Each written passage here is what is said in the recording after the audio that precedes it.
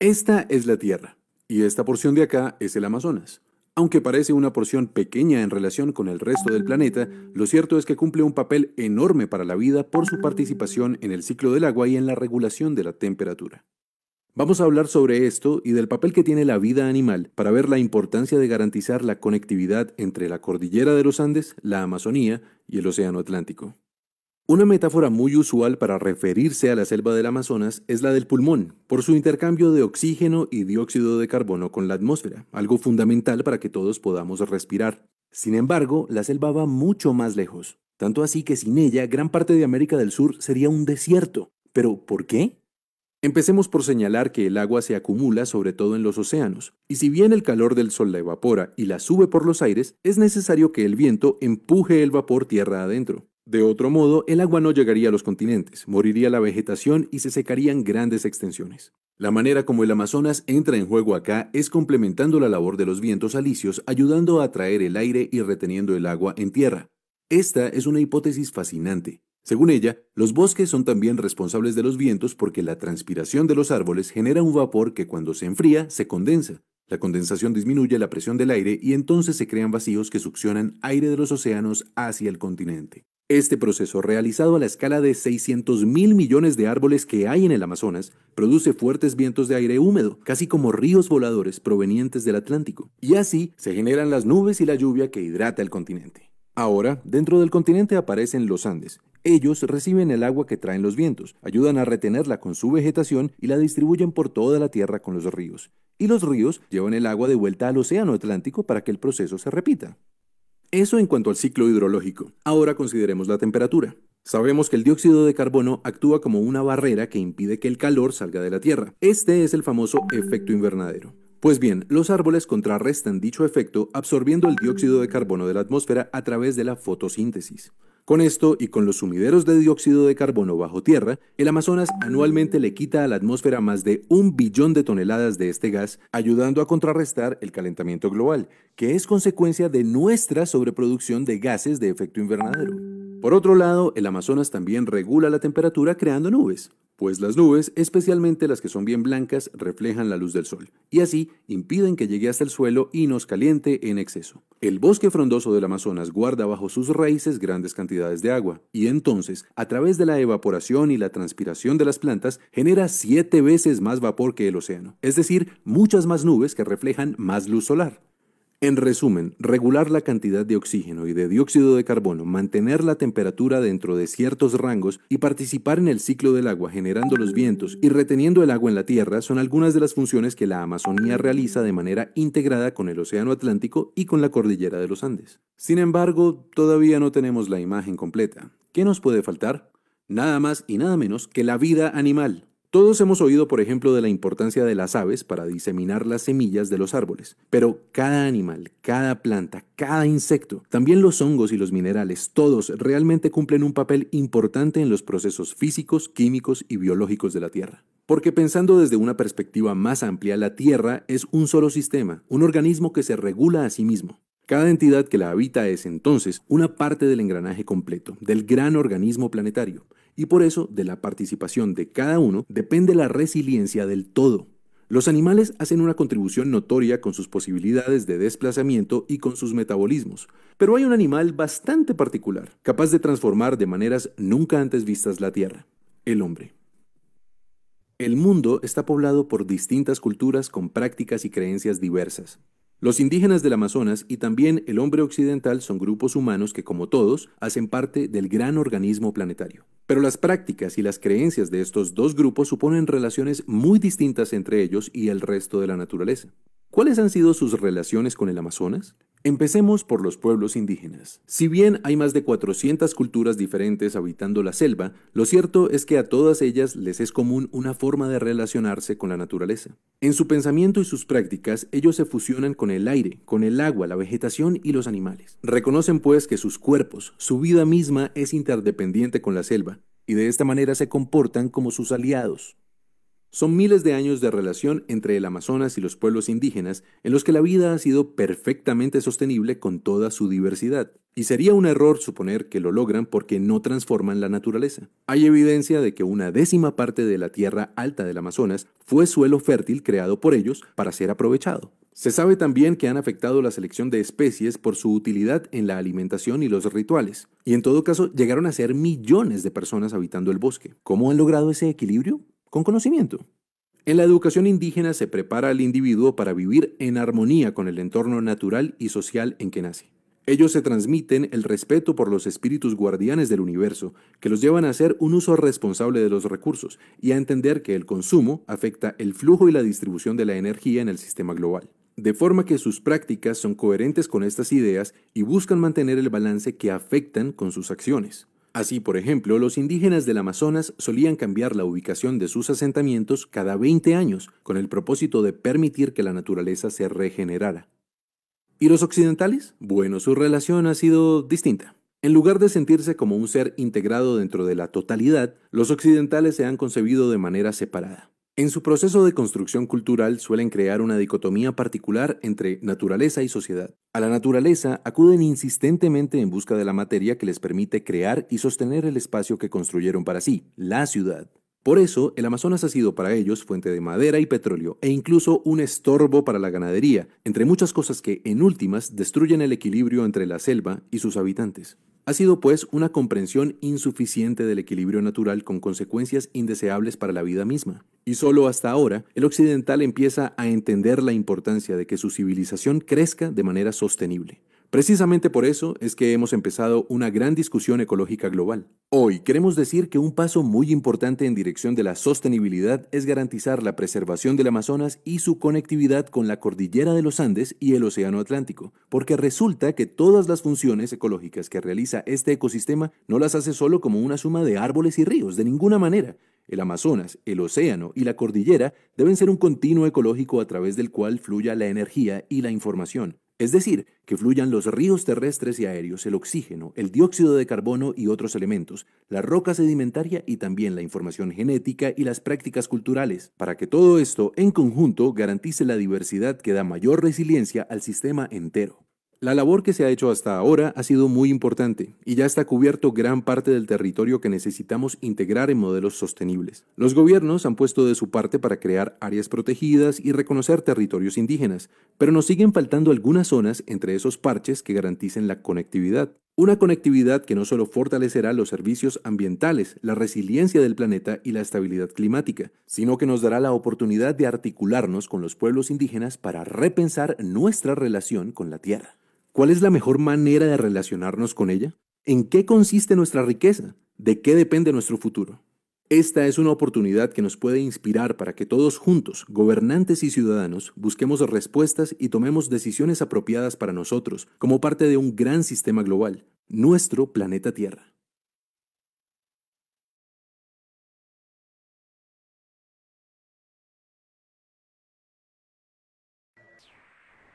Muy buenas tardes, apreciados amigos y amigas que nos acompañan en este espacio tan interesante y tan importante. Eh, mi nombre es Laura Vargas, yo soy la coordinadora país de la Iniciativa Interreligiosa para los Bosques Tropicales, que es quien está convocando a este conversatorio. Agradecemos muchísimo la presencia de nuestros tres panelistas. Eh, tenemos con nosotros al antropólogo eh, Alberto Chirif. Alberto es experto en comunidades indígenas del Perú. Es autor de diversas publicaciones y libros. ¿no? Tenemos acá, después del caucho, marcando territorio, progreso y limitaciones de la titulación del territorio, ¿no? Eh, pero más allá de su, de su experticia, más allá de su aporte que es muy importante y muy reconocido, Alberto es un apasionado por la Amazonía. Y desde esa pasión, desde ese compromiso de toda su vida prácticamente, él está aportando mucho a comprender mejor lo que significa este espacio vital y la necesidad urgente que tenemos todos de proteger. También nos va a acompañar esta tarde la señora Ruth Buendía. Ella es una líder indígena de la comunidad chánica, ¿no? Es una activista medioambiental. En los últimos años ella ha recibido varios reconocimientos nacionales e internacionales por la lucha tan importante que ha desarrollado en relación al cuidado de la Amazonía, al cuidado de este espacio vital fundamental para todos nosotros y para todo el planeta, ¿no? especialmente oponiéndose a la construcción de dos plantas hidroeléctricas en la cuenca del río N, que ponen en peligro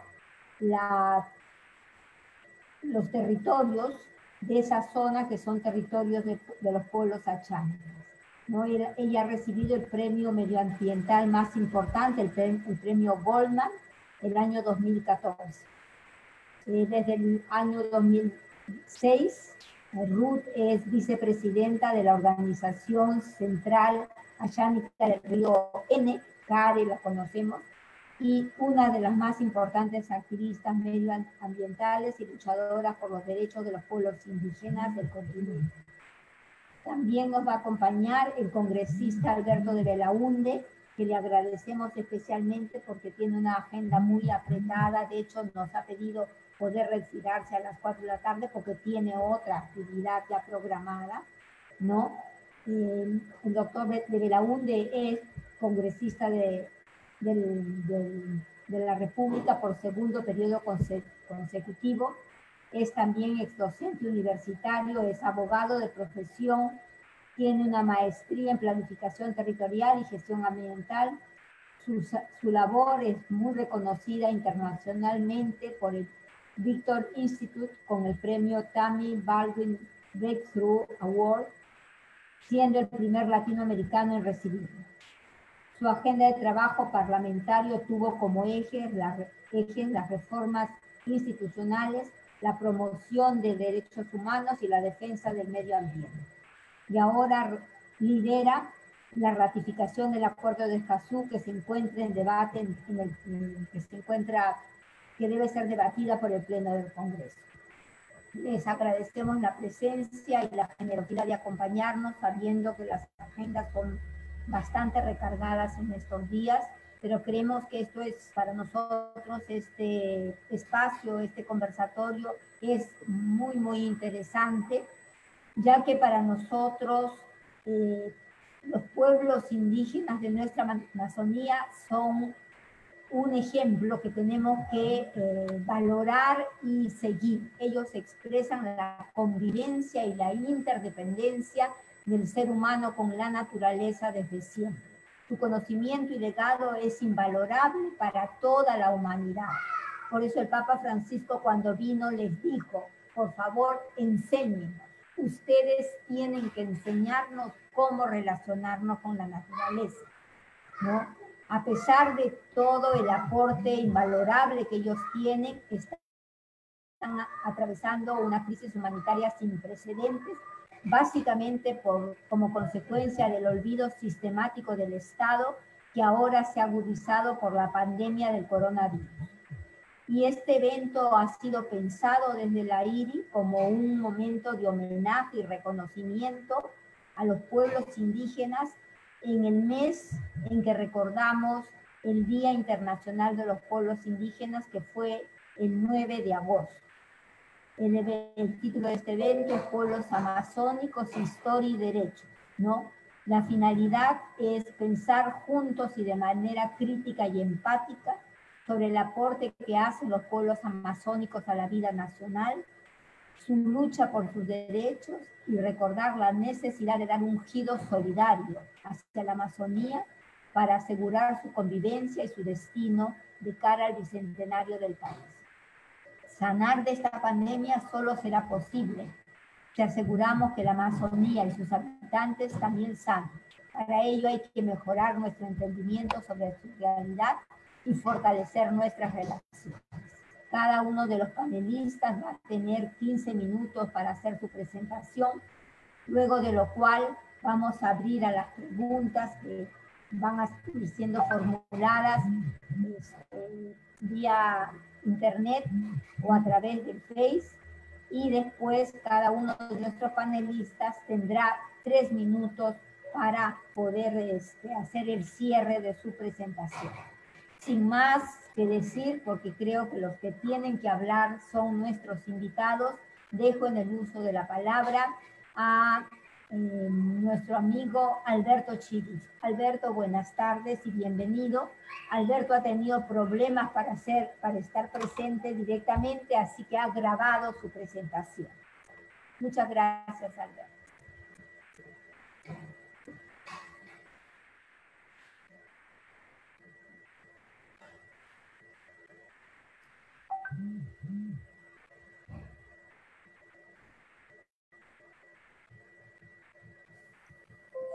Buenas tardes, Laura. Muchas gracias por la invitación. Buenas tardes. Tiempo que no nos vemos, espero que cuando pase la pandemia haya un momento para conversar. Buenas tardes, eh, Tocayo Alberto. No tengo el gusto de conocerte, pero sí sigo con interés y mucho respeto tu, tu trabajo. Sobre las comunidades, quiero decir que como instituciones jurídicas, existen desde 1974, año en que el gobierno del general Velasco dio por primera vez una ley que reconocía sus derechos. Los principales fueron el reconocimiento como personas jurídicas, lo que les permite acceder a una serie de derechos generales, y eh, acceder a un derecho particular que fue el derecho a las tierras que ocupaban. ¿no? Eh, en ese primer momento hay que decir que las tierras de las comunidades fueron eh, reconocidas en su integridad, es decir, incluían los suelos y los suelos de aptitud forestal y los bosques. Lamentablemente en 1978 estas cosas se cambiaron y una nueva ley de comunidades nativas estableció un proceso de clasificación de suelos para entregar en, calidad de sesión en uso los eh, suelos que fuesen de aptitud forestal. Esto es un absurdo, pero no es el momento de tratarlo porque el tiempo es corto. Lo que quiero señalar es que a partir de 1974, si bien es cierto, existían ya algunas organizaciones indígenas, con el apoyo de, y la efervescencia creada por reconocimiento de derechos a las comunidades, se comenzó un proceso mm, muy grande de surgimiento de organizaciones indígenas y de que ganaron espacio.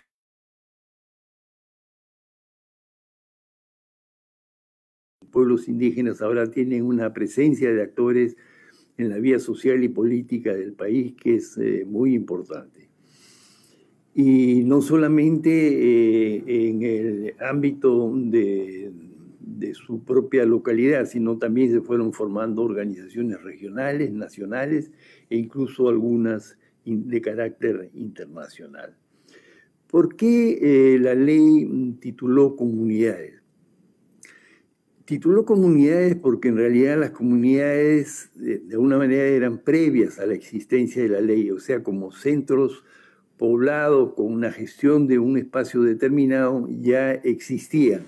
Y existían por diversos procesos que se fueron dando en la región, algunos muy antiguos que vienen desde la época de la colonia. Todos esos los puedo eh, calificar como reducciones.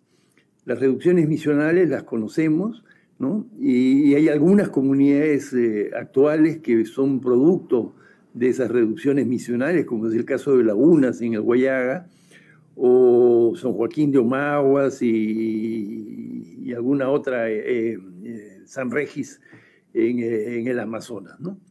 Hay algunas otras que, que, no son tan antiguas, son republicanas, son del siglo XIX. Las más antiguas son las que se, existen en la selva central, aunque no se llamen reducciones, son en, esencia eso, ¿no? Son eh, concentración de población que se, eh, mm, se asienta en torno a, la misión. Es el caso de Puerto Copa, por ejemplo, en la selva central de Oventeni, ¿no? Eh, en el Urubamba tenemos mm, Chirumbia y, Coribeni y algunas otras más modernas como Timpía y, en fin, otras. Eh, la, concentración de población también es un proceso debido a la colonización. En el Perú la colonización de la Amazonía comienza en la segunda mitad del siglo XIX y un proceso muy importante eh, que va ocupando, colonos andinos van ocupando las tierras que pertenecen a, los pueblos indígenas. Este proceso es particularmente dramático en la selva central, territorio tradicional de Llanes y Ayánicas, ¿no? y se trata de colonos andinos desposeídos de tierras que van hacia la Amazonía en búsqueda de tierras, a veces alentados por el propio gobierno con una forma de encontrar una fuente de trabajo y riqueza. Pero van eh, sobre las tierras que pertenecen a pueblos indígenas, ¿no? pueblos indígenas que viven del bosque y no eh, estrictamente del cultivo. Entonces eso va aprisionando a los pueblos indígenas, los va reduciendo, los va concentrando en algunos caseríos y este es otro factor, como digo, mm, eh, de, lo que se va a encontrar cuando se da la ley de comunidades nativas. El tercer factor de reducción han sido los patrones, que han tenido vigencia e importancia fundamentalmente en la selva baja. Eh, podemos hablar del caucho, pero no solamente es el caucho, también a la caída del caucho hay otros productos que atraen el interés de los patrones, que son especialmente también algunos, algunas resinas eh, de, árboles, como el caso de la leche caspi, eh, del palo de de rosa, que son además mm, productos que son extraídos de una manera totalmente irracional y destructiva. ¿Por qué? Porque los árboles, para sangrarlos, en el caso de la leche caspi, se tumba, se tumba y se sangra. Entonces se, obtiene el huevo, pero se mata la gallina, digamos.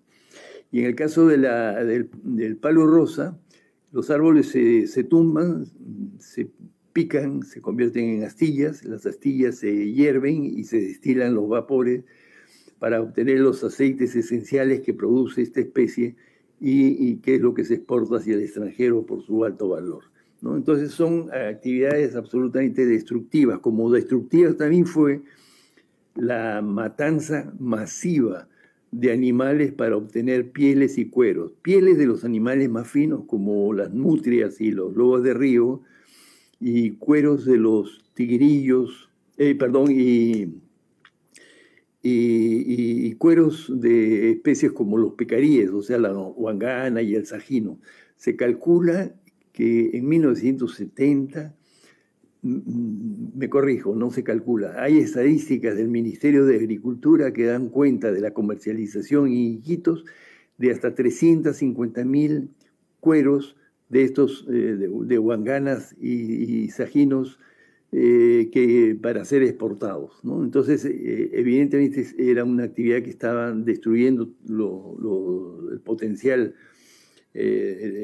biológico de la, de la Amazonía.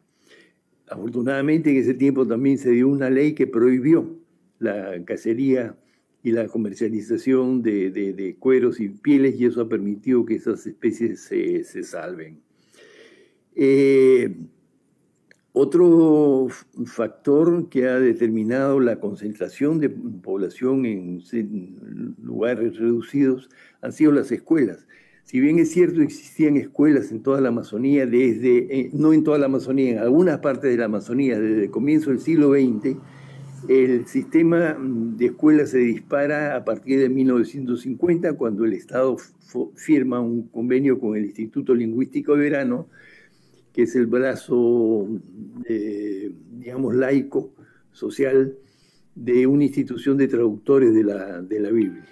Entonces, eh, a través de este convenio se posibilita la formación de maestros eh, bilingües en tiempo de, de, verano, en los meses de, primeros meses del año, para que se vayan luego a trabajar como profesores en sus comunidades. Entonces, esto dispara la expansión de escuelas por todos lados y las escuelas son un factor de atracción. Son un factor de atracción porque si no existe una población concentrada en un lugar determinado, simplemente no se puede establecer la escuela. Posteriormente a la ley han habido otros procesos de concentración y el principal ha sido las carreteras. Las carreteras han concentrado a población a lo largo de ellas, eh, población indígena, que con la esperanza de que ellas puedan comercializar algo, obtener algunos recursos monetarios que en general son escasos en las comunidades. Y eso ha sido un factor muy negativo porque pongo el caso, por ejemplo, del Gran Pajonal. El Gran Pajonal es una zona eh, ambientalmente eh, muy frágil, donde la población para eh, poder vivir en esa zona se asentaba de manera muy, muy dispersa. Al concentrarse a lo largo de la carretera, es evidente que se genera una presión muy alta, muy fuerte sobre un lugar determinado. ¿no? Y por otro lado, se pierden recursos que están en los espacios interfluviales, que son los recursos finalmente de la, de la cacería. La concentración de población no ha tenido el mismo efecto eh, negativo en la selva baja que en la selva alta. En la selva baja no, porque los ríos son navegables, los ríos se desbordan y al desbordarse eh, fertilizan los, eh, los suelos aledaños al cauce de los ríos y eso deja suelos muy ricos para la producción agrícola. Aparte que esos ríos tienen un potencial muy grande en la producción de peces. En la selva alta, sin embargo, no hay este, este tema de los suelos aluviales, los eh, suelos aledaños a los ríos son generalmente rocosos, ¿no? Y por otro lado, los suelos no tienen este potencial inmenso de producción de peces, ¿no? Entonces eso genera que la población se concentre en un lugar, pero no cuente con los, la riqueza que puede disponer los pueblos que están asentados en la selva baja. Y ese es un problema que hay que resolver. Yo creo que es un problema pendiente. ¿no? Eh, si, hacemos un balance rápido del tema este de la titulación, podemos decir, en primer lugar, que se tituló a comunidades en algunas zonas simplemente como estrategia para salvar lo que les quedaba. En la selva ah, alta, en la zona habitada por los Ayánicas y los Yanesha, el, mar de colonos había reducido de tal manera la, la, disponibilidad de recursos de las comunidades que habían algunas, y cito el caso de Palomar, que tenía 60 hectáreas. Cuando se hizo la primera titulación en el año 75, al año de haber sido aprobada la ley, se pudo conseguir triplicar esta área porque algunos colonos del entorno habían abandonado sus tierras. De todas maneras, 180 hectáreas para una comunidad es una cantidad ridícula.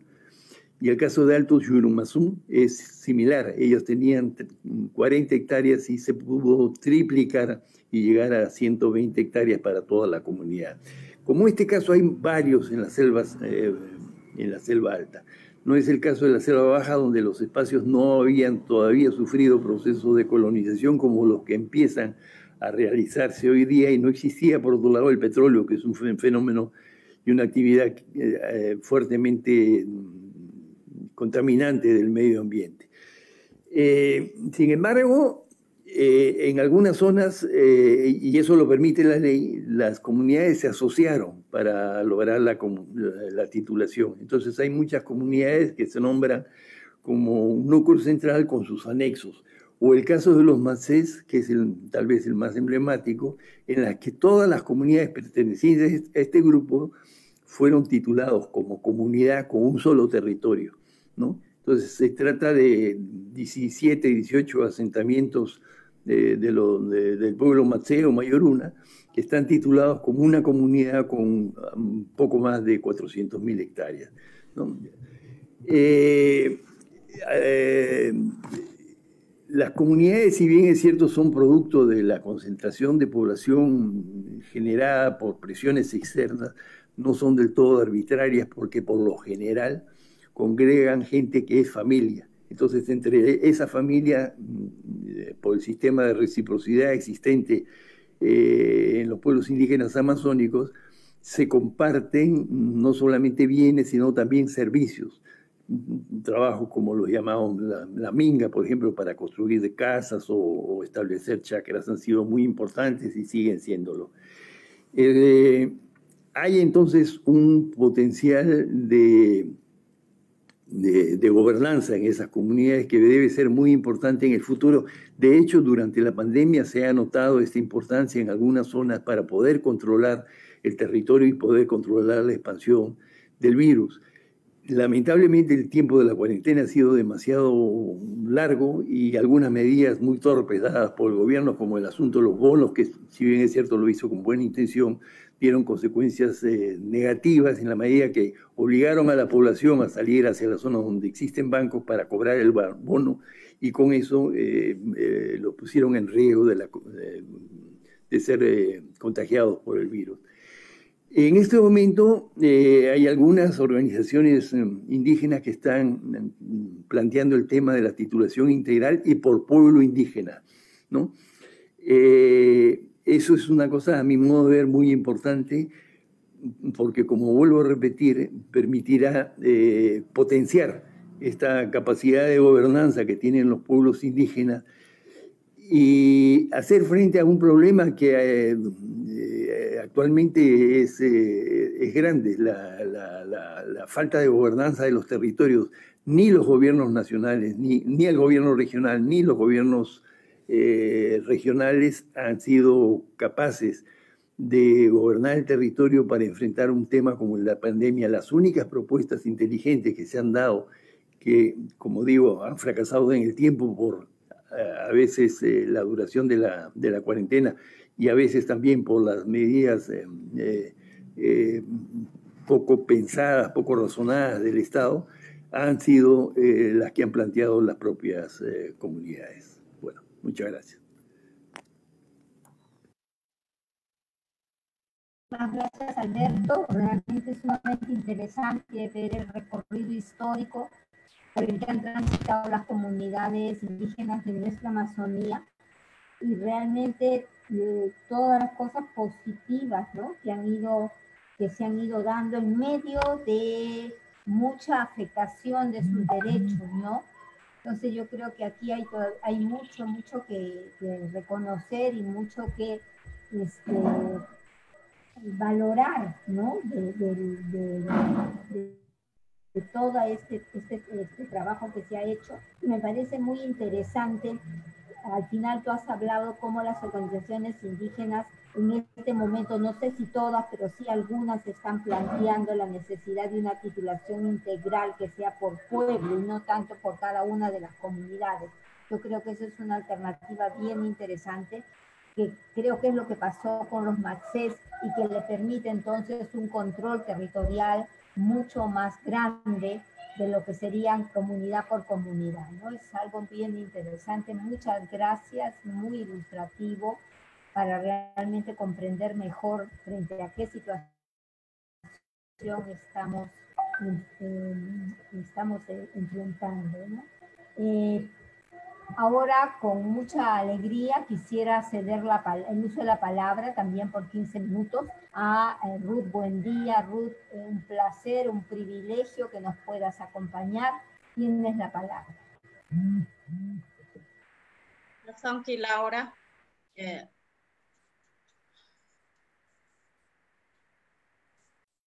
que Laura, eh, no tengo vídeo eh, para que me vean, tengo problema un poco aquí.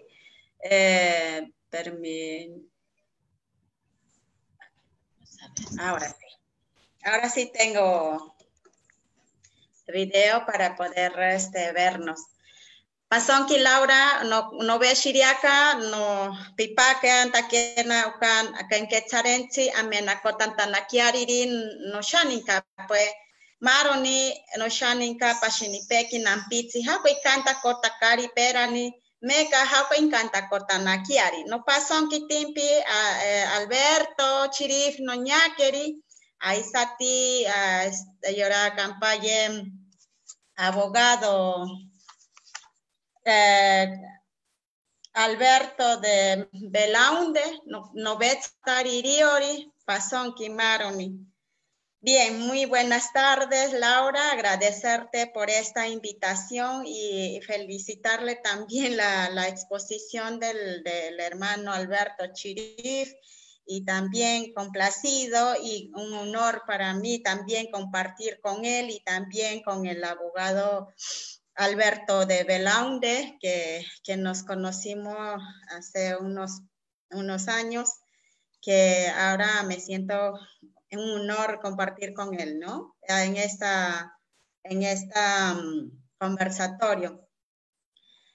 Gracias por, por estas invitaciones. Bien, como, como lo ves, ¿no? El, el, el recuento que ha hecho el hermano Chirif eh, en, en, el momento que nosotros como pueblos indígenas hemos, hemos existido antes que el Estado peruano, eh, nos hemos organizado, por ejemplo, y lo, y, y lo que ha dicho, a que ha ilustrado el hermano Alberto Chirif, que él en la juventud, que también él como, como antropólogo, muchas veces ha acompañado a nuestros líderes para que puedan haber eh, atenciones técnicas, ver con estas sobrevivencia de los pueblos indígenas.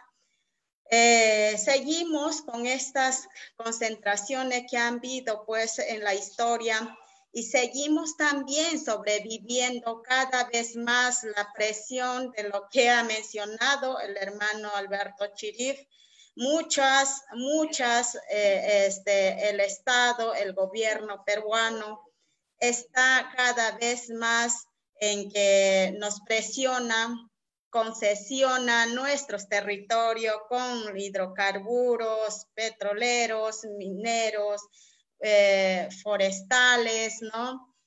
Que no se considera el derecho de los pueblos indígenas hasta este momento, ¿no? Desde que, nos, desde que se ha constituido el Estado y el sistema mismo, que no o no quiere reconocer a los pueblos indígenas a pesar de todo que hacemos muchas incidencias para poder que nos respete, que, nos, debe, nos debería respetar nuestros derechos de acuerdo a, los eh, este,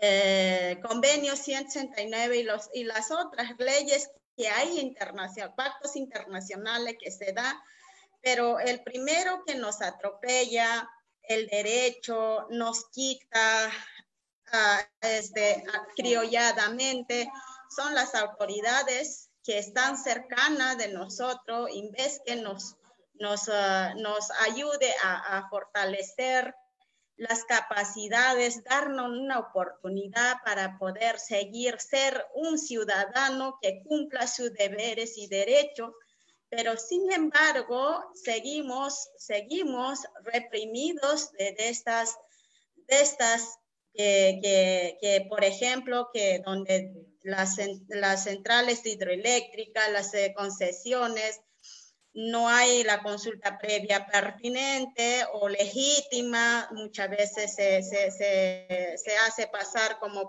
como una participación ciudadana, se confunde con, con, eso porque, porque el indígena ha participado y muchas veces hay desconocimiento también que nosotros como pueblos indígenas no es que no es que digamos que nosotros no queremos el desarrollo, al contrario, pero también se tiene que, se tiene que planificarse juntamente con los pueblos indígenas, tener oportunidad, pero sin embargo seguimos reprimidos, seguimos este, la misma de la historia y de la ilustración que ha ha explicado el hermano Alberto Chirif, ¿no? Entonces, yo este, le he seguido eh, en sus exposiciones, por ejemplo, él lo, lo, lo, lo, dice como si fuera ayer ha sido, ¿no?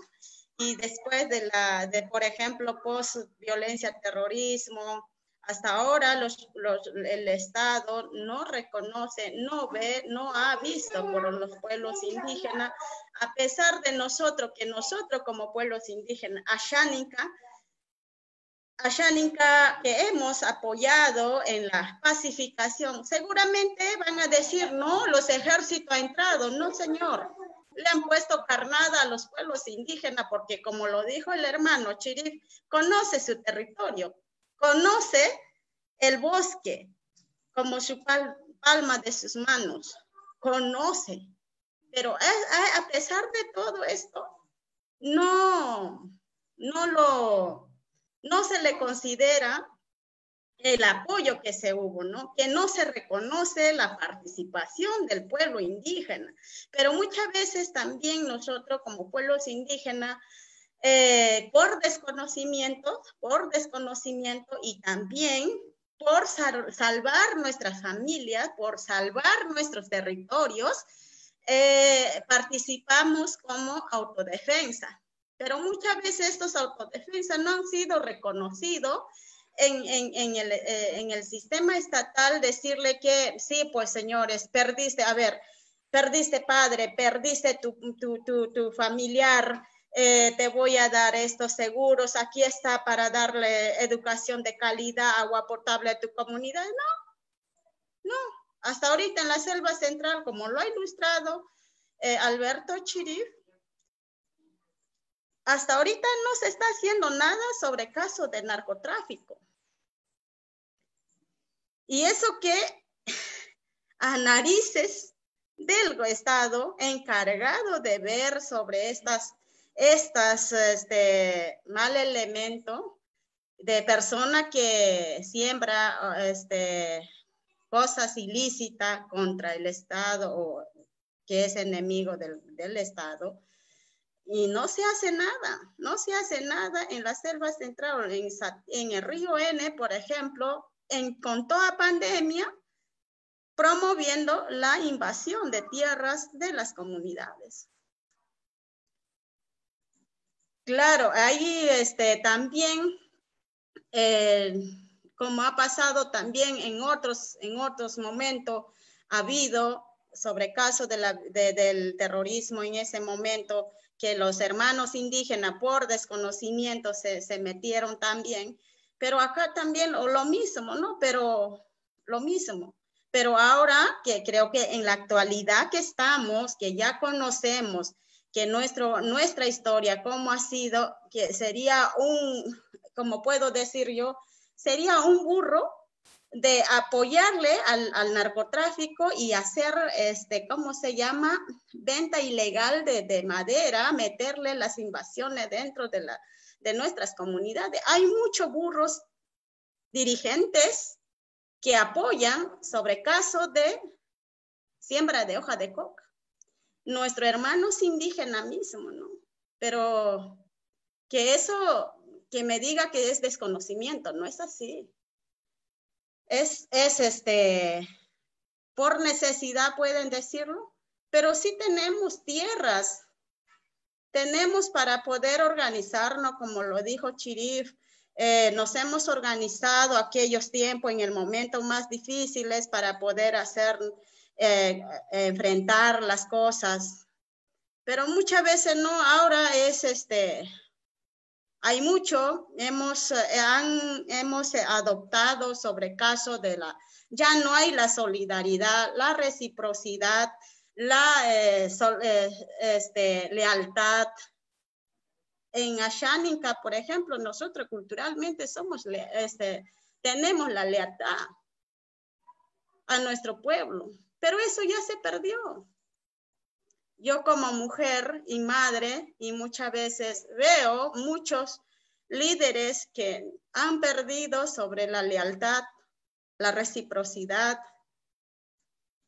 ver el pueblo que deberíamos proponer como lo que nosotros como organizaciones nacionales, regionales, lo hemos hecho, lo, lo, lo poco hemos podido hacer pero muchas veces también nuestros equipos técnicos se aprovechan por el desconocimiento de nuestros líderes, lideresas, y para que eh, nos distraen en otro lado para poder ver las cosas que, que, deberían hacer su función de los líderes, a, a ver sobre caso esta sobrevivencia, territorialidad, por ejemplo, y también en esa parte la titulación de tierras eh, integral de los pueblos. Felicito a mis hermanos que son Aguajún, Wampis, pero también hay líderes que, que hace pasar titular una comunidad cuando es de un individuo.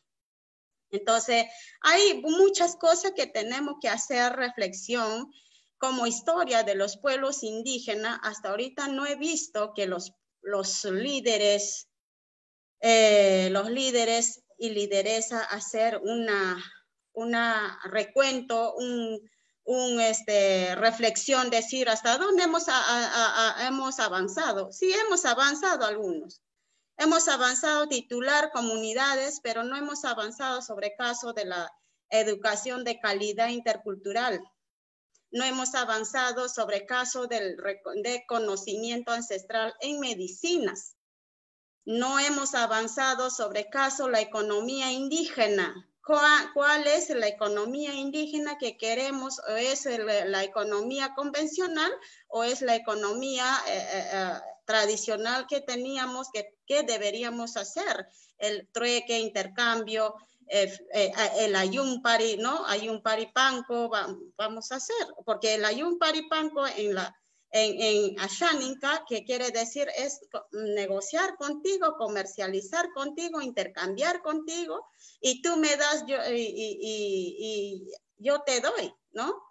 Pero muchas veces ha faltado bastante nos hemos perdido en la que, en la que agenda de, las, de los aliados hemos, hemos, este, nos hemos dejado que nos ponga la agenda, por ejemplo, que hemos venido haciendo que muchas veces es importante sobre casos de cambio climático, pero ¿qué hay de, seguridad alimentaria? ¿Qué hay de la educación? ¿Qué hay de las atenciones de las mujeres? Hay muchas violaciones de, niñas y adolescentes en las comunidades por los profesores, pueblos indígenas mismos. Como mujer, a mí me indigna, mis hermanos indígenas mismos hacen uso y abuso de, por su cultura, dice que, que pueden hacer, hacer lo que le da la gana. Eso no es así. En verdad, eh, a mí me, indigna en esa parte que muchas veces eh, falta de, que debería visibilizarse también a la mujer.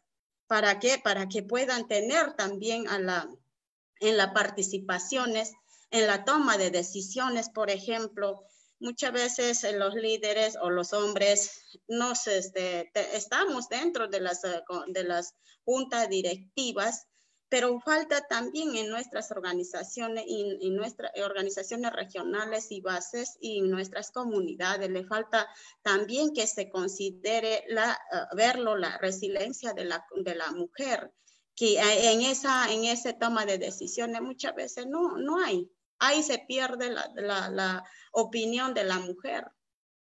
¿no? Entonces, eso es lo que puedo decir y otro, bueno, y dije algunas cosas que es de reflexión, algunos que es la historia y los presentes que ha pasado, que es lo que pasa y pues eh, en, en futuro lo que deberíamos hacer ahora, bueno, la, bien que mal, pero ahí estamos con AIDESEP, está haciendo, ahora vamos a hacer, vamos a lanzar un diplomado sobre caso de, de este, mm, gestión política en la Escuela Gobernanza Integral Desarrollo de los Pueblos Indígenas. La debilidad en esa parte de las organizaciones indígenas, no, no contamos el equipo técnico que pueda ayudarnos a articular con, lo, con el Estado, o elaborar propuestas técnicas y que solucione la pobreza que hay en las comunidades, ¿no? Pasó Kimaron. Muchísimas gracias, Ruth. Eh, realmente es impresionante ver el recorrido, el compromiso y todas las dificultades que ustedes van enfrentando. Tú has recordado una época muy dramática, la época de la violencia terrorista, y realmente cómo el pueblo achánica sufrió de manera enorme, ¿no? E, esa, esa terrible experiencia Yo personalmente visité después que fue destruido Cutivirene, Poyen y toda esa zona. Yo estuve presente ahí acompañando al obispo y hemos visto todo el sufrimiento y toda, toda la lucha y todo el esfuerzo del pueblo ashámita para defender a sus comunidades y para enfrentar una cosa tan terrible como esa, ¿no? Pero eso es un, un episodio en la historia, pero también es que todo el, todo el camino es un camino de, de una lucha muy larga, muy difícil, que, que, que, eh, que se ha hecho y que creo que uno de los aspectos más importantes es que los liderazgos indígenas eh, asuman con total transparencia ¿no? el incorporar a la mujer en estas luchas, ¿no? porque me acuerdo cuando hemos estado este, con un sector de los pueblos Aguajum en el norte, una, una, reunión con 250 líderes Aguajum, y solamente hablaron los varones, ¿no? Y al final de la reunión se me acercan algunas mujeres y me dicen, nosotros también tenemos mucho que decir, pero no nos dan la palabra, ¿no? Entonces, el liderazgo de las mujeres dentro de las comunidades yo creo que es sumamente importante para, este, para realmente poder salir adelante porque los problemas son enormes y no se pueden sacar solamente con el liderazgo masculino, sino tiene que ser también con el liderazgo de la mujer. Agradeciéndote muchísimo, ahora cedo la palabra al congresista Alberto de Belaunde. Espero que puedas este, tener un tiempo para compartir con nosotros, Alberto. Sé que tu tiempo es corto, no sé si puedes hacer tu presentación te, lo agradecemos mucho. Claro que sí, con, con muchísimo gusto. Eh, agradezco a la iniciativa interreligiosa para bosques tropicales por esta oportunidad, a Laura, por supuesto, a mi tocayo, también a Ruth, qué gusto verte, Ruth, después de, algún tiempo, eh, y por supuesto saludando a todas las personas que nos están siguiendo a través de, las redes sociales. Y mientras escuchaba a, a Ruth eh, pensaba uno de los proyectos de ley que venía preparando cuando se produjo la disolución del Congreso. Como ustedes saben, soy congresista actualmente, pero también lo era antes de la disolución eh, del Congreso. Y uno de los proyectos que estábamos eh, discutiendo en mi despacho en ese momento era de cara al Bicentenario. Y era un proyecto para pedir disculpas históricas como Estado peruano a los pueblos indígenas amazónicos y a partir de esas disculpas tomar una serie de medidas respecto a los espacios de toma de decisión en el Estado peruano. Y, para ese proyecto de ley, junto con, con el equipo de mi despacho, se preparó una exposición de motivos muy rica y muy dramática sobre todas las veces a lo largo de nuestro periodo republicano que el Estado no solo ha fallado en tutelar los derechos de eh, los pueblos indígenas amazónicos, eh, no solo que ha fallado en la, tutela, sino que el mismo Estado ha vulnerado los derechos de, esta, de estos pueblos. Y pensaba esto al escuchar a Ruth, porque creo que el, el rama y lo que hace que hoy día me cuestione si un proyecto de ley de esa naturaleza es pertinente, es que ese abandono y esa vulnerabilidad no terminan. Normalmente cuando uno pide disculpas históricas, tiene que ver con algo que ha quedado ya en la historia, ¿no? Algún hecho o proceso histórico traumático eh, por el cual uno mira hacia atrás, reflexiona y pide disculpas.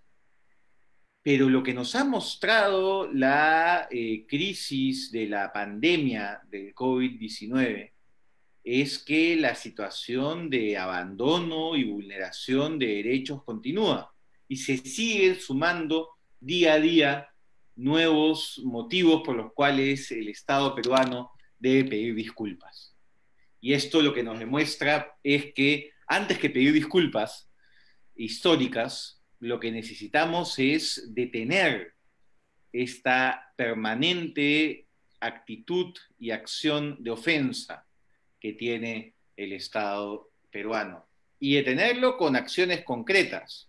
Yo, quisiera eh, también dedicar unas palabras de solidaridad, empatía y por supuesto de, dolor a eh, todas las vidas que se han perdido en nuestros pueblos indígenas, todos los saberes ancestrales que están en riesgo debido a este abandono en esta situación de crisis.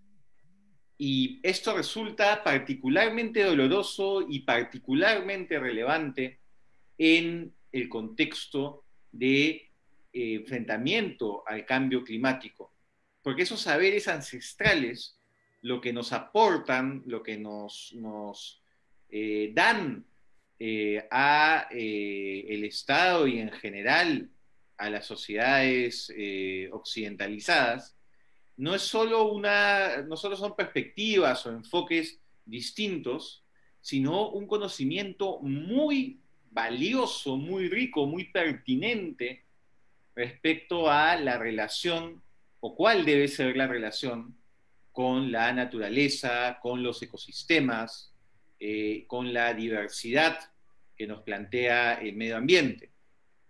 El mundo en este momento nos está dando constantes llamadas de atención respecto a cuál es la relación que estamos teniendo con el planeta.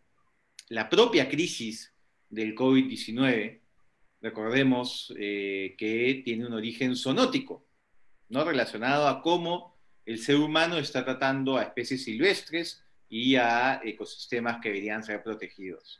Entonces, es un mensaje del mundo diciendo la manera como se están relacionando con la naturaleza está mal y los está llevando a un punto de no retorno y los va a llevar a la extinción. Y es en ese contexto que uno debe reflexionar y debe voltear la mirada hacia aquellos que siempre han tenido una relación eh, de respeto, de integración y una relación eh, sana con la naturaleza. Y paradójicamente son los que más están sufriendo en esta coyuntura. Entonces, lo que requerimos son acciones concretas, ¿no? Más allá de, gestos simbólicos, acá lo que tiene que haber son acciones concretas. Y una de ellas, y es a lo que yo quisiera eh, centrar estos minutos de participación, tiene que ver con algo que está ahorita en la cancha del Congreso de la República. Y me refiero a la ratificación del Acuerdo de Escazú.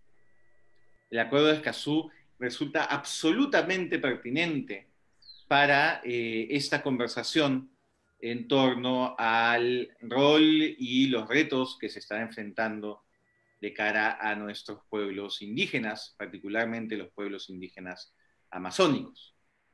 Eh, recordemos que este acuerdo, el acuerdo de Escazú, es un tratado internacional promovido de manera eh, regional, es un acuerdo de, alcance regional entre los países de eh, América Latina para fortalecer la institucionalidad ambiental. Y dentro de ese fortalecimiento de la institucionalidad ambiental hay una mirada eh, multicultural y hay una mirada que, busca que se respete el derecho de acceso a información, de participación y acceso a justicia en materia ambiental, pero tomando en cuenta también las particularidades de nuestros pueblos indígenas eh, en, todos nuestros países. Si me permiten, eh, brevemente señalaré algunos de los artículos de este acuerdo que, resultan pertinentes para lo que estoy señalando. Y, aquí aprovecho para hacer una invitación. Hay mucha desinformación en redes sociales, en medios de comunicación, en eh, pronunciamientos públicos sobre el contenido del Acuerdo de Escazú. El Acuerdo de Escazú está publicado en Internet. Entonces yo invito a que las personas que nos están siguiendo pongan en Google Acuerdo de Escazú, enter y una de las primeras eh, uno de los primeros enlaces que saldrá es el texto completo del acuerdo y podrán ver qué cosas que se dicen son ciertas y qué cosas no. Yo quisiera señalar, por ejemplo, eh, algunas referencias que resultan particularmente relevantes y que muestran que los pueblos indígenas son actores centrales detrás del espíritu de Escazú. El numeral 4 del artículo 5 del acuerdo señala, cada parte facilitará el acceso a la información ambiental de las personas o grupos en situación de vulnerabilidad, estableciendo procedimientos de atención desde la formulación de solicitudes hasta la entrega de información, considerando sus condiciones y especificidades con la finalidad de fomentar el acceso y la participación en igualdad de condiciones. Y el numeral 5 del, mismo artículo 5 señala, entre dichos grupos vulnerables están los pueblos indígenas y grupos étnicos, a quienes los países eh, que, que firman el acuerdo garantizarán la atención, la asistencia para formular sus peticiones y obtener respuesta. Entonces hay un, reconocimiento y una identificación expresa de los pueblos indígenas en este acuerdo. Y no, es lo, único que resulta relevante. El numeral 15 del artículo 7 sobre la participación pública en los procesos de toma de decisiones ambientales señala en la implementación del presente acuerdo, cada país garantizará el respeto, cada parte garantizará el respeto de su legislación nacional y de sus obligaciones internacionales relativas a los derechos de los pueblos indígenas y comunidades locales. Así, por ejemplo, el convenio 169, del cual somos partes, resulta absolutamente coherente y alineado con el acuerdo de Escazú.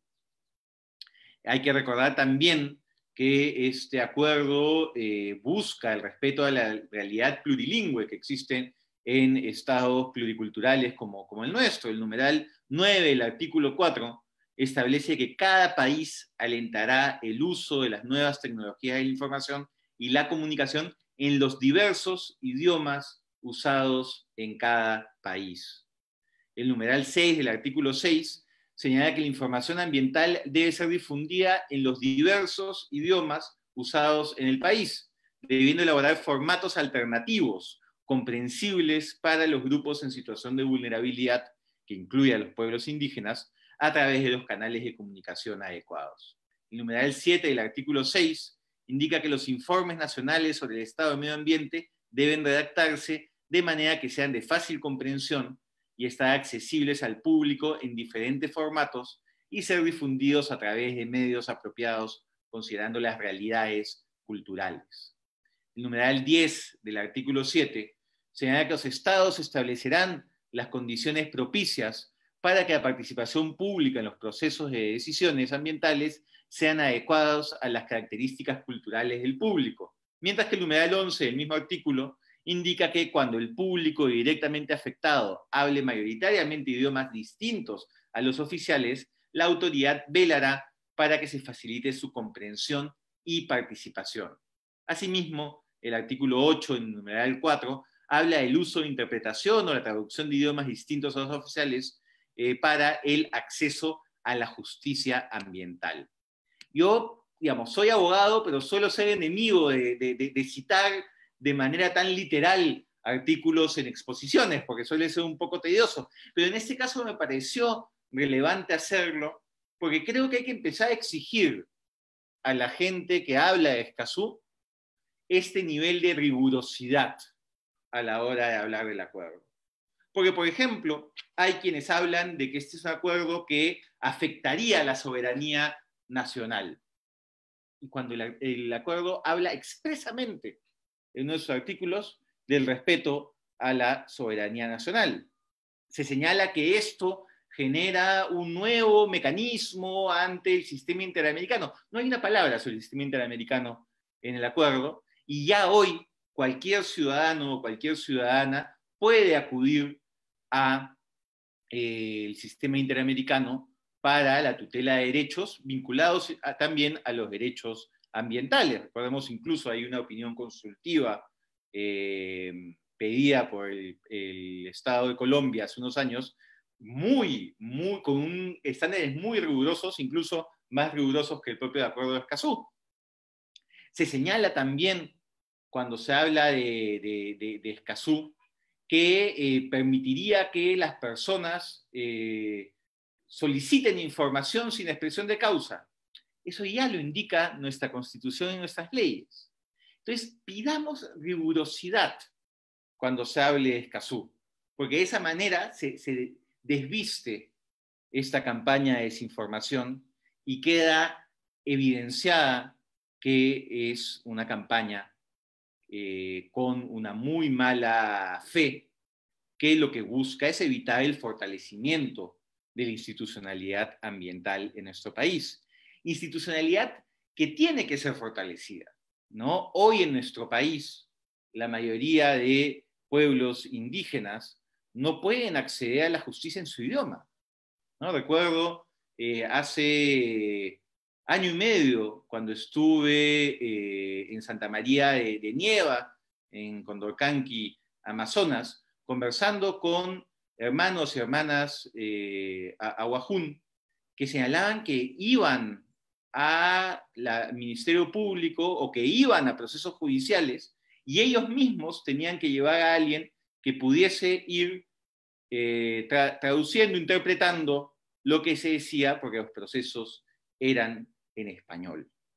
Y ni qué decir de las enormes barreras que existen de acceso a la información o incluso de la propia eh, participación, que muchas veces termina siendo una participación formalista o llena de barreras burocráticas que van en contra de la misma naturaleza de, la democracia, ¿no? que la democracia es la participación de los ciudadanos. Entonces, tenemos en Escazú una oportunidad de, eh, mediante un compromiso internacional, garantizar estándares más altos que obliguen al Estado peruano a su fortalecimiento eh, institucional, al fortalecimiento de la institucionalidad ambiental. Por supuesto que la simple ratificación no soluciona estos problemas, pero es una manera de ir por el camino correcto y de exigir a las autoridades un mayor fortalecimiento. ¿Cuál es el estado actual de, Escazú? Eh, como ustedes saben, una vez que el Estado peruano decide eh, ser parte de un acuerdo internacional, si este acuerdo internacional versa sobre algunos temas que puede ser seguridad, puede ser soberanía, puede ser ambiental, puede ser derechos humanos, tiene que ser ratificado por el Congreso de la República. En este caso, Escazú es fundamentalmente un acuerdo de derechos humanos, tiene que pasar por el Congreso y pasa primero por la Comisión de Relaciones Exteriores y luego eh, tiene que ir al Pleno. Eh, cuando llega Escazú eh, el año pasado, poco antes de la disolución del Congreso, cuando llega Escazú a la Comisión, ya contaba con opiniones favorables de sociedad civil, del Poder Judicial, del Ministerio Público, de la Defensoría del Pueblo, de todos los ministerios que habían sido consultados. Pero este año, cuando empezamos eh, la, gestiones de este Congreso y buscamos cumplir un compromiso de campaña, que era el impulso de la ratificación del Acuerdo de Escazú, se inició esta campaña eh, muy bien articulada de desinformación, de miedo, y que está poniendo el día de hoy en peligro la ratificación de, de, Escazú. Y yo veo con, sorpresa eh, y con indignación a gobiernos regionales de nuestra Amazonía en una campaña expresa contra Escazú, cuando deberían ser los abanderados, la primera línea de impulso de este tratado. ¿no? Hasta este nivel puede llegar la desinformación y hasta este nivel puede llegar este cabildeo poco sano y poco transparente en contra de un tratado de derechos humanos. Yo quisiera terminar eh, no solo eh, expresando nuevamente mi, mi compromiso con la agenda ambiental, con la agenda de los pueblos indígenas y por supuesto, concretamente con la ratificación de Escazú, sino también quisiera invitar a las personas que nos están viendo a eh, levantar su voz. Y a rechazar esta campaña en contra del fortalecimiento de nuestra institucionalidad ambiental y a comunicarse con sus representantes, a movilizarse desde sociedad civil y a hacer suya esta bandera tan importante que es la bandera de Escazú, bandera importante para nuestro Estado, bandera importante para nuestro ambiente, bandera importante para nuestros pueblos indígenas. Muchísimas gracias nuevamente por la invitación. Un gusto, Laura, Ruth, eh, Alberto y todas las personas que nos acompañan. Muchísimas gracias, Alberto. Realmente has dicho cosas sumamente interesantes y a uno le gustaría comentar todo, pero el tiempo siempre es un tirano y sabemos que no podemos decir todo, ¿no? Pero tú has, tú has señalado entre todo lo que has dicho una cosa que me parece de suma importancia, ¿no? Tú has recordado que la pandemia que ahora estamos viviendo no podemos negar que tiene un origen sonótico, es decir, que está en la destrucción de la naturaleza. Al destruir la naturaleza hemos roto eh, los ecosistemas y se ha permitido que bacterias o virus o seres patógenos que viven en los animales tranquilamente salten a los humanos y produzcan e, esta, esta pandemia que está causando tanto dolor y tanta muerte en nuestro país, ¿no? Y que afecta de manera tan dramática a nuestros pueblos indígenas. Entonces, una razón más para decir tenemos que cuidar los bosques, tenemos que proteger la naturaleza, no podemos permitir que se siga destruyendo porque ahí está el, el kit del asunto. En la, manera, en la manera que seguimos depredando, contaminando, vamos a seguir creando todas estas enfermedades que hacen tanto daño y producen tanto dolor y sufrimiento. ¿no?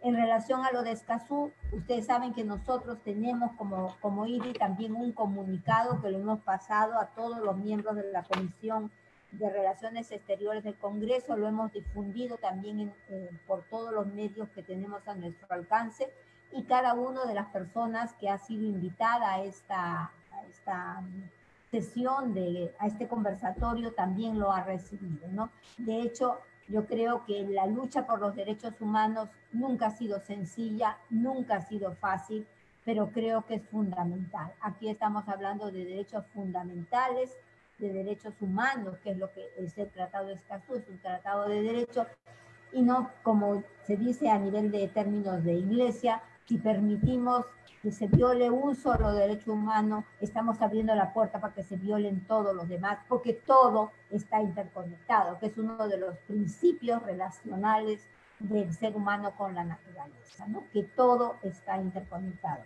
Muchísimas gracias. Yo no sé si el tiempo lo permite tener dos o tres preguntas, ¿no? Y, para poder ya este, ir cerrando, porque ya tenemos casi 12 minutos más nomás. Laura, yo lamentablemente tengo que, ir partiendo. Alberto, los, te agradecemos muchísimo. Me, ha alegrado muchísimo y no quiero irme sin felicitarlos por el maravilloso video que hemos visto al inicio del evento. Qué cosa más bonita eh, y tan profunda que hemos visto y por supuesto lo, difundiré también en mis redes para que pueda llegar a más gente. Muchas gracias. Muchísimas gracias, muchísimas gracias. Sí, Bien. Entonces, no sé si hay algunas preguntas, Eduardo, que, hay que pasar. Ahorita eh, tengo reunión a las 4, eh, me pasé casi 19 minutos, por favor. me, voy a, voy, agradezco por la invitación. Muchas gracias, Ruth, lo entendemos perfectamente, muy amable por acompañarnos. Eh, seguimos en contacto, seguimos este, conversando, ¿no? porque yo creo que el camino que se ha abierto es muy importante. Y tenemos que todos poner el, hombre, el hombro para, para sacar todo esto adelante. Muchas gracias. Muchas gracias. nos quedamos con Alberto Chirife. Espero que, Alberto, tú puedas de repente contestar algunas eh, preguntas.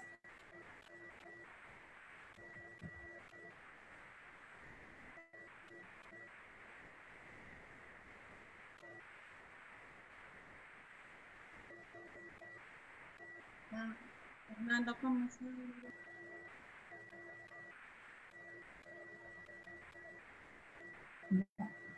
están diciendo de parte de IRI, Perú que al final de, la, de esta sesión la grabación de todo lo que se ha conversado y compartido va a quedar disponible para todos aquellos que quieran tenerla para después poder revisar algunos de los, de los aspectos, de los datos tan interesantes que se han señalado.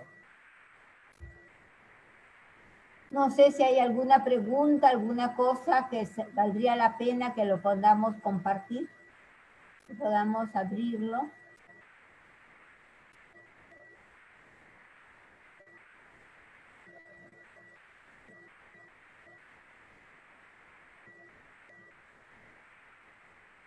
Marilita, ¿tú tienes las preguntas? Sí, Laura, te puedo leer algunas y a ver si nos pueden acompañar y, responder en todo caso.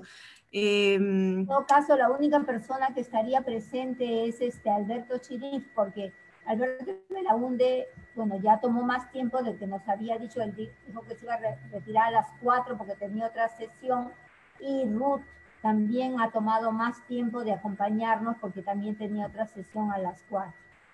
sí, agradecemos a todas las personas que nos están siguiendo también por las redes y gracias a los que han escrito en la sección preguntas y respuestas sus comentarios al, al, espacio. Eh, nos deja la compañía misionera una pregunta para Alberto Chirif. Dice si podría brindarnos algún ejemplo de las alternativas que han dado las comunidades nativas para afrontar la pandemia. De, esta es una pregunta de la compañía misionera.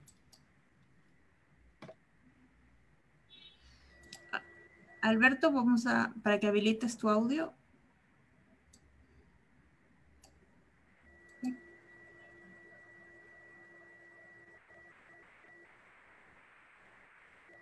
Me parece que la conexión de Alberto se ha caído.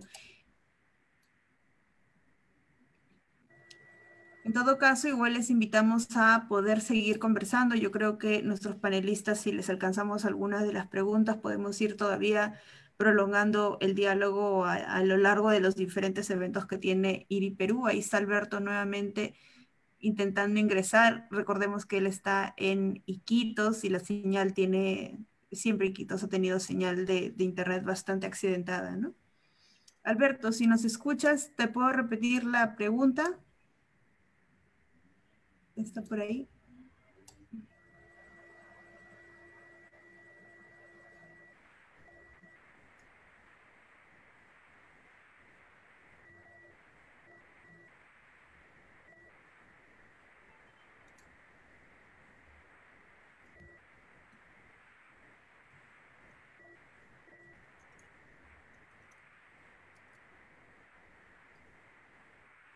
Marilita, ¿y si lo podemos llamar Alberto a su teléfono?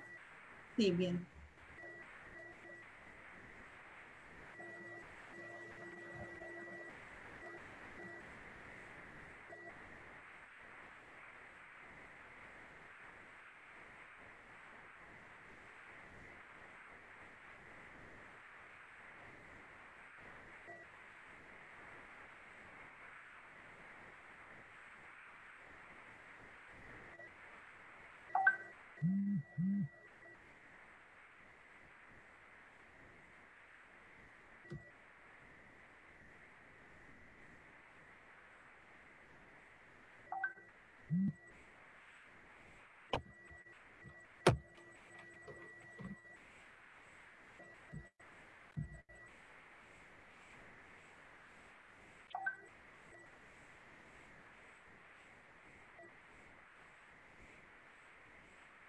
Bueno, mientras logramos la comunicación con, con, Alberto Chirifa, ojalá que la logremos, les comunico con mucha alegría que nuestro próximo conversatorio virtual va a ser el 18 de eh, septiembre a las 3 de la tarde y porque Dios es bueno con nosotros, eso digo yo, hemos conseguido que el ponente de este conversatorio sea Leonardo Boff. Leonardo Boff es uno de los grandes este, luchadores de la defensa del planeta, de la defensa de los ecosistemas, es uno de los grandes ecólogos, una persona que ha aportado mucho a la comprensión de lo que está pasando en nuestra Amazonía, lo que está pasando en el mundo, ¿no? Eh, y él ha aceptado poder eh, hablar sobre cómo construir humanidad después de la pandemia o desde la pandemia que estamos viviendo. ¿Qué tendríamos que hacer nosotros para poder este, realmente construir esta humanidad nueva, ¿no?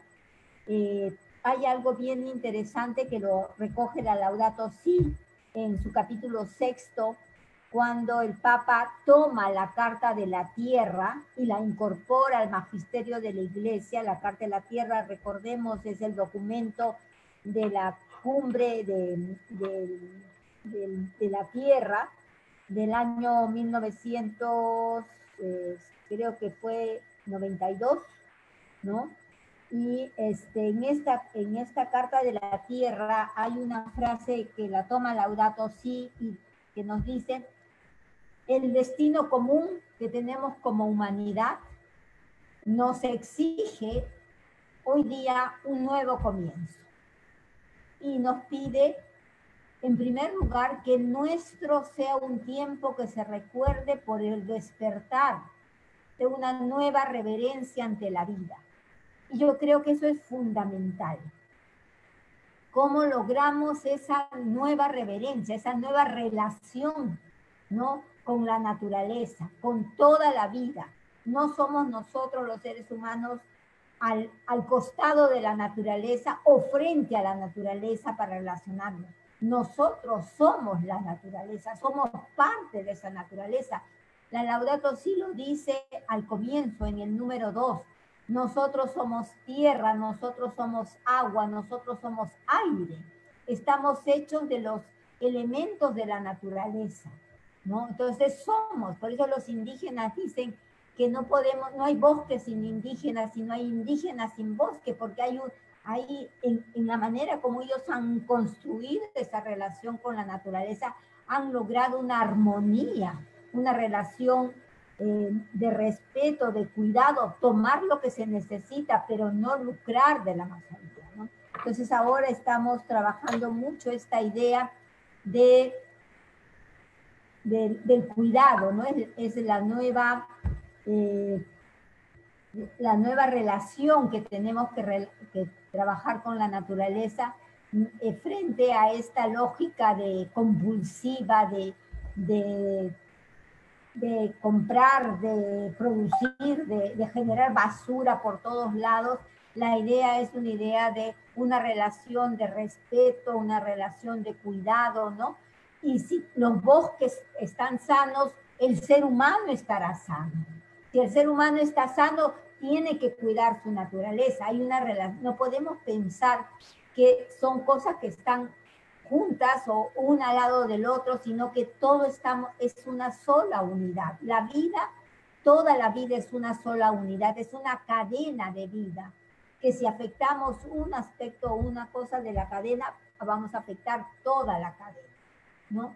Entonces, eh, ya sé, las cuatro y media, les agradecemos muchísimo a toda la gente que se nos ha sumado para este conversatorio no siempre es fácil conseguir este, bueno, eh, buen audio, buen video, ¿no? Eso lo hemos visto en el caso de Alberto, y siempre ahora, aunque parezca mentira, trabajamos más desde casa, porque estamos prácticamente todo el día en, reuniones virtuales. Eh, muchísimas gracias, yo creo que ha sido un, un momento muy bonito, ¿no? y nuestro compromiso, nuestro profundo respeto con los pueblos indígenas para, y nuestro compromiso es para que se reconozcan sus derechos, para que se valoren sus derechos y para que realmente el Estado peruano pueda saldar esa deuda histórica de siglos que tiene con nuestros pueblos, que son una enorme riqueza, esa diversidad es un regalo de Dios y creo que tenemos que estar muy orgullosos de todo lo que nos han aportado y nos siguen aportando para comprender mejor cómo, cómo ser parte de esta maravillosa obra de Dios. Bendito eh, sea Dios eh, por que nos ha permitido este momento y darle las gracias a cada uno de ustedes y esperemos que nos encontremos el 18 de, septiembre a las 3 de la tarde para este nuevo conversatorio de cómo construimos nueva humanidad. ¿no? Les agradecemos mucho, vamos a tener también un panel que nos acompaña, ¿no? Eh, eh, en, este, en este nuevo diálogo que vamos a, a realizar. Muchísimas gracias, muy amables por estar aquí con nosotros y bueno, hasta otro momento. Y sigamos trabajando por la protección de la naturaleza. Muy amable. Gracias.